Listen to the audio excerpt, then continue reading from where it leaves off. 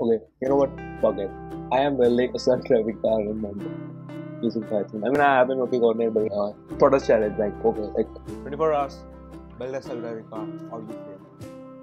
How you feel? Like, but since I don't know what I am putting uh, pressure on myself, probably just gonna do build this fucking stuff, right?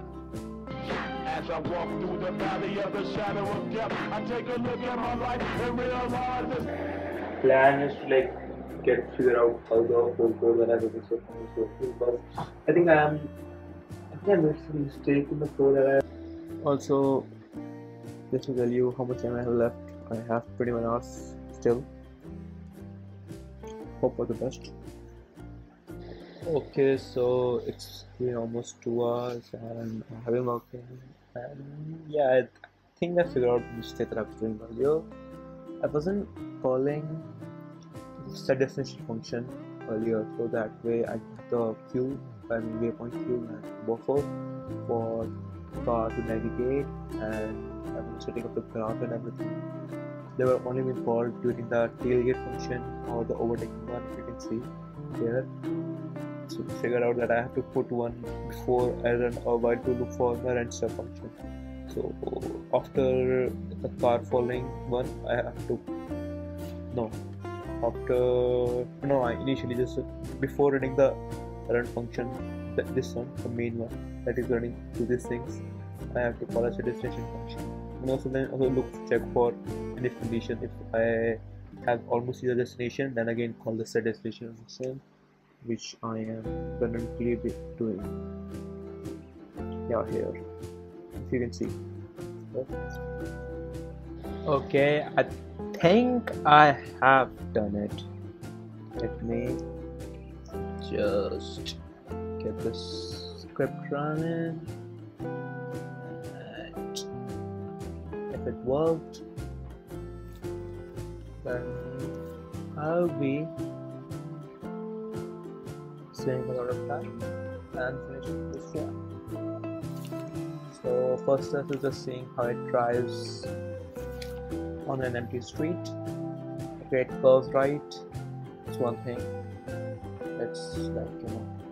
Because I tried using spawn NPC file to mm, check if overtaking and tailgating working. I'm getting the required cases where I can like have a car following it or overtake car overtake the car that's in front of me. it I'm not getting particular situations. So I think I have to create one when I still have like 17 18 hours left and, and then after the do it uh, I just have this uh, column autopilot and uh, yeah place it in front of it and see what the car will choose to do yeah there's a little bit of fluctuation error but that's what I'm so it's like 9 18 p.m. at this point and uh, yeah I, I have like implemented the script for the car that I talked about that will uh, trigger the tailgating and overtaking responses that I have previously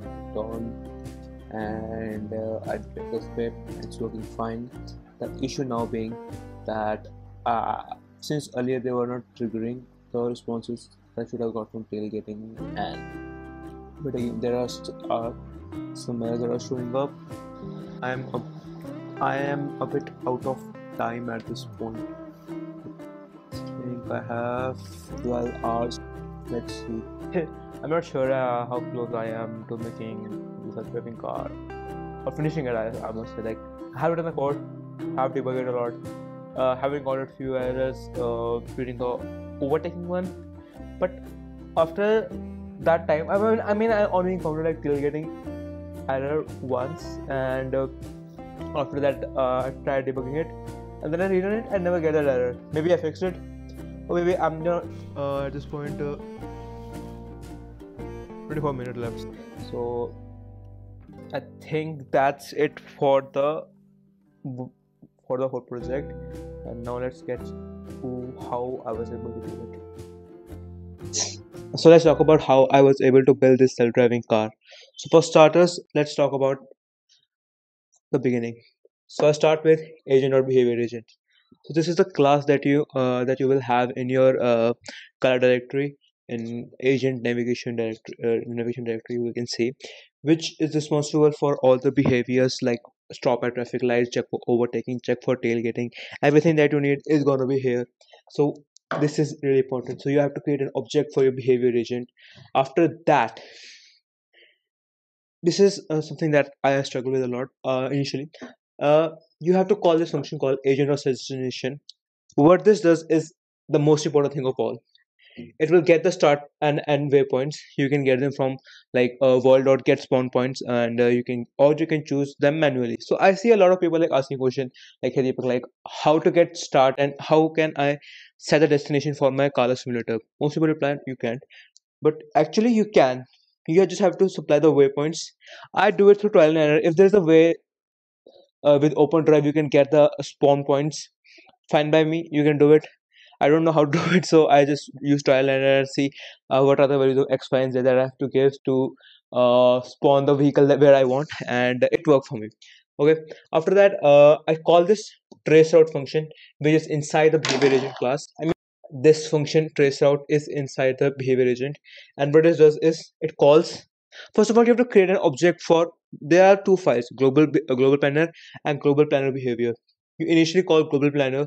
It has a function called get topology which is used for getting uh, creating a dictionary uh, which has uh, waypoints uh, which create entry and exit waypoints of the of your uh, of the car that uh, of the car and also the path of the also the path that you need. Initially what you need is uh your end goal of calling this uh, set destination is to get uh, waypoints and a direction. uh, you create a waypoint queue and get uh, waypoints as well as direction that's the end goal direction and waypoints okay so remember what you are going for and follow along you create a global planner object uh, called DAO. Then you pass a DAO in the global planner behavior class. Then you call global uh, global planner behavior object. Uh, I've named it GB for now. GB or setup function. Setup function calls four functions. I know there's a mouthful, but okay get topology get topology is inside the global planner class. Remember i said that you are passing a DAO, a DAO object in the global planner behavior. You call the get topology get the dictionary for uh for there are like uh, uh different things that you need like entry exit points and the uh, and the path as well as the uh, segments and the all uh, stuff that you need. Then you call the build graph build graph build graph is very important. It basically creates a, a graph that uh, that has n1 and 2 values n1 and 2 points to the uh, waypoints x y and z.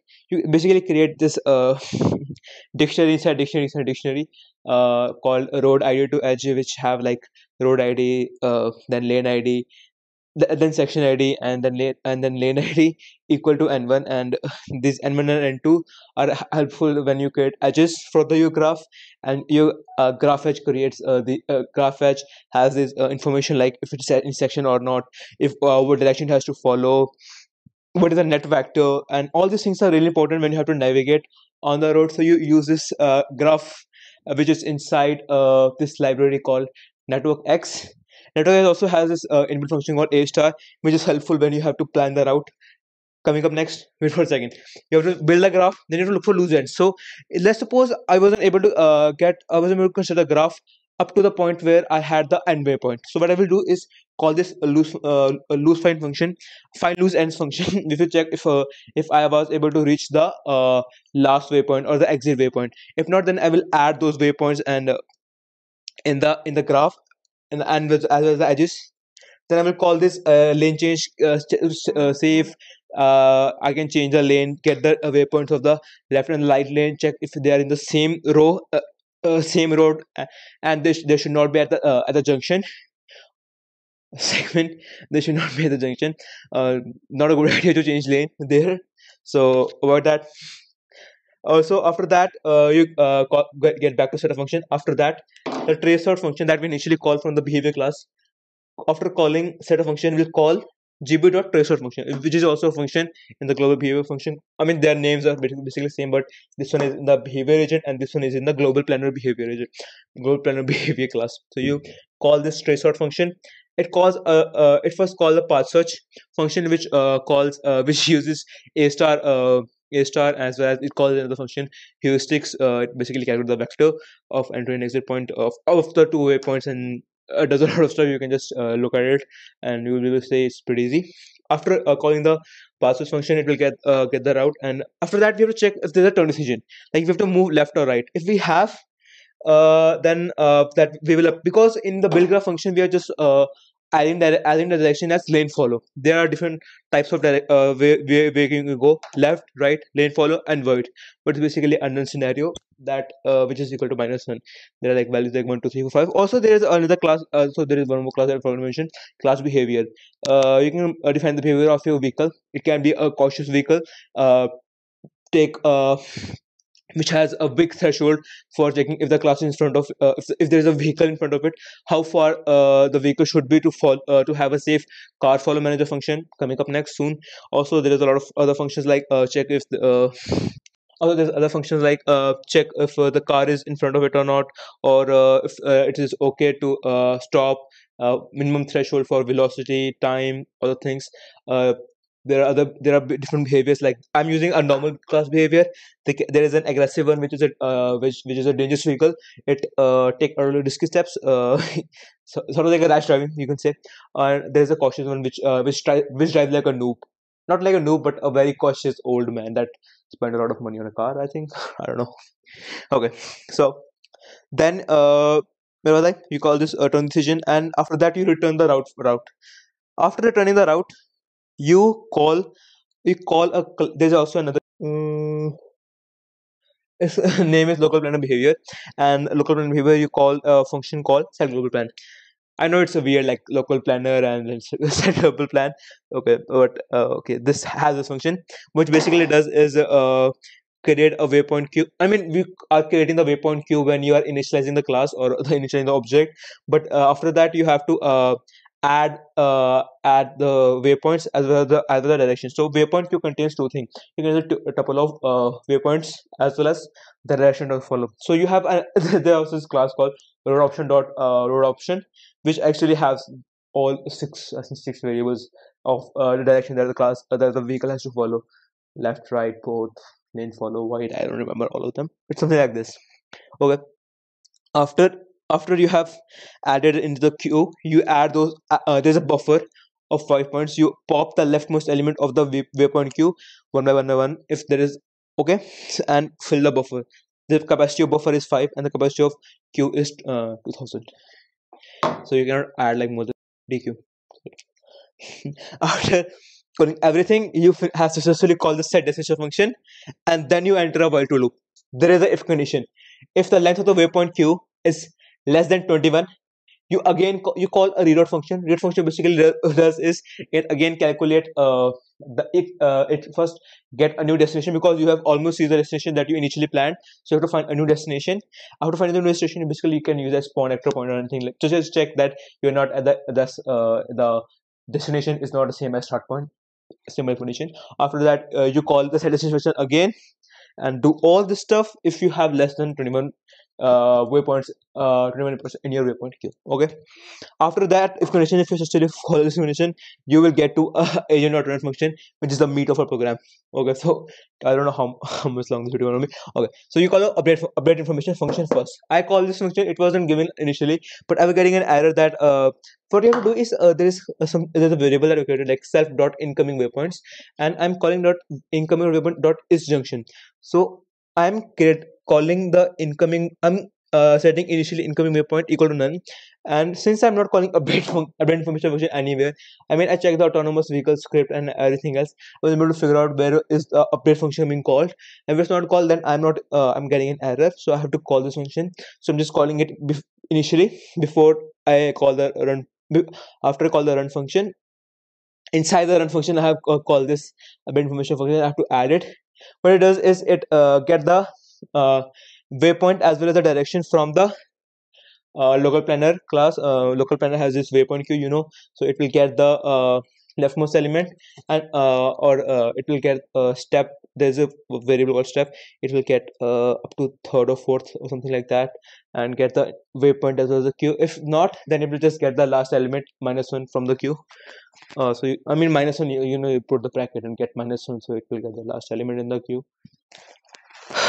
after that you call a traffic light manager function check if uh, there's a red light and it's not at a junction. So if it's a red light, it's not at a junction. Uh, so we will push the pedal and call an emergency stop function. Emergency stop function return the control for the vehicles, you know, steering, throttle, and brake, and we return and we stop the vehicle there, there and then. After that, I check. Uh, I will call a set dot collision dot car hour manager which will uh, call few functions like overtaking tailgating another function. Also call ph hazard function which is uh, in an agent class which is actually the parent class of this behavior agent. Uh, has a function uh, ph is hazard function. Which check if there's a vehicle in front of it or in uh, in an proximity in, in, an angle or something. And if yes it will return true vehicle state. It will return what vehicle it is as well as the distance between the vehicle. Three things.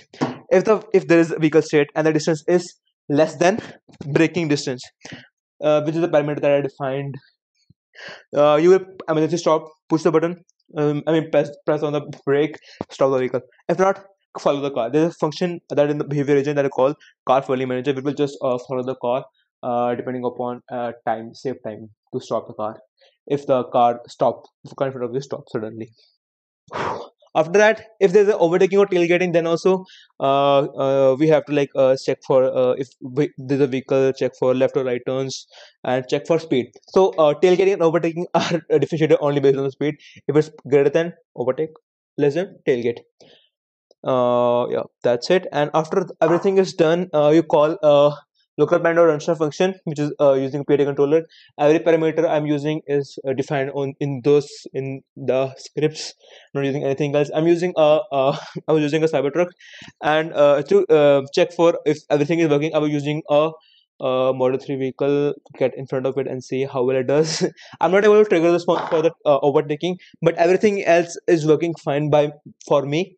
I okay i hope the video was helpful it will explain how the how everything works in the autonomous script. Like i mean i did it in one day in a single day i mean okay